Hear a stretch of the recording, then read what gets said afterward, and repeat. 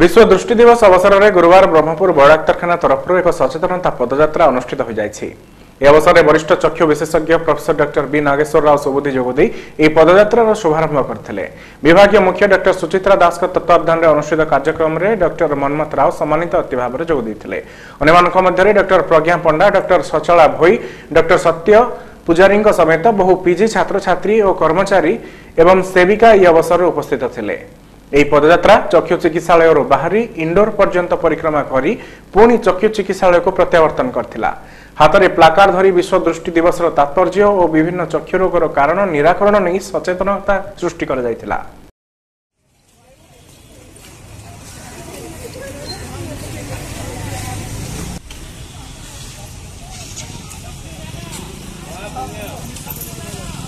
Thank you.